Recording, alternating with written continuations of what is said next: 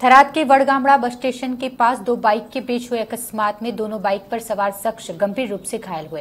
प्राप्त माहिती के अनुसार शादी का कार्ड बांटकर घर लौट रहे पिता पुत्र इस हादसे का शिकार हुए। पिता और पुत्र थराद शादी का कार्ड देने आए थे और वापस उदराणा गाँव जा रहे थे। तभी रास्ते में इस भयानक अकस्मात का शिकार हुए।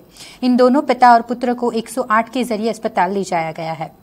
मौजूदा लोगों से यह भी जानने को मिला है कि दूसरी बाइक पर सवार दो लोगों के पास करीब पाँच से छह शराब की बोतलें थी।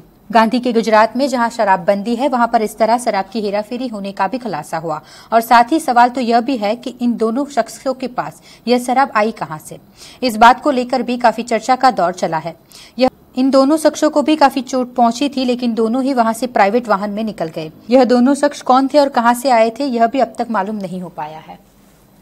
क्यों एक खबर।